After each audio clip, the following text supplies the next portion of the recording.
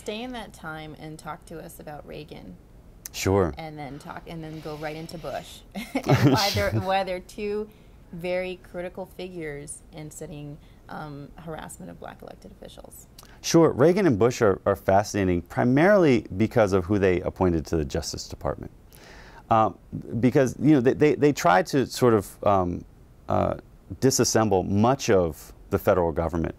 Uh, but the one place that they, they really are successful as far, not, pardon me, not disassemble, but try to change it from liberal to conservative. Mm -hmm. um, and the one place where they're remarkably successful is at the Justice Department. It's one of the few places where they really are able to do it. Mm -hmm. And they're able to put people in office like Rudy Giuliani, mm -hmm. um, Jefferson Sessions, who's now the ranking Republican on the Senate Judiciary Committee, uh, and many others.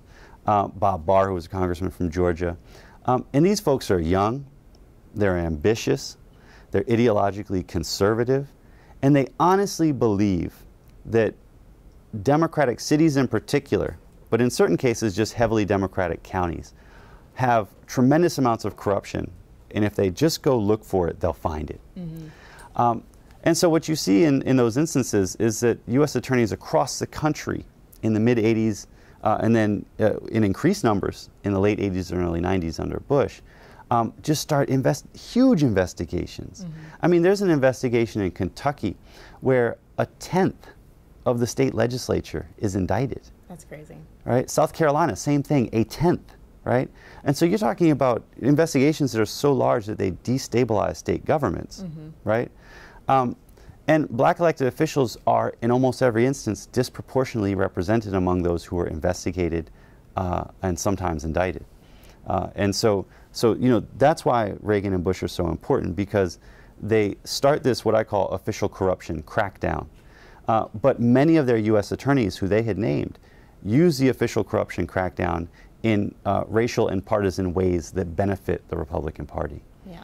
So then this leads into white backlash, the feeling and the animosity that was created post civil rights that enabled Reagan and Bush mm-hmm. to take on the power position that they did. And then go into how that affected or caused the Republicans to rise.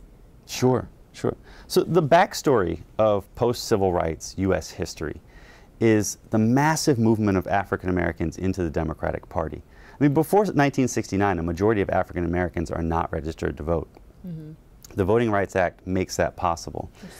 And the places where they're able to register in huge numbers are traditionally Democratic areas the Black Belt South, the big cities. Mm -hmm. When they move into uh, these uh, into the Democratic Party and even are able to take over certain parts of it, um, large numbers of white Democrats, racially conservative Democrats, leave the Democratic Party and they head into the Republican Party. Mm -hmm.